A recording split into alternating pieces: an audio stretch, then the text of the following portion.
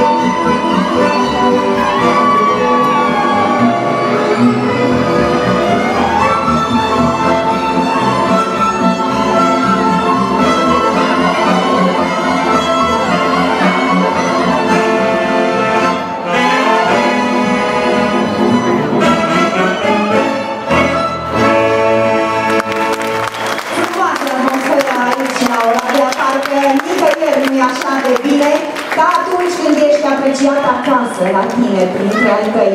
Și nicăieri nu este atât de greu să te prezinți în fața publicului ca aici, printre cei care te cunosc, care te văd pe stradă.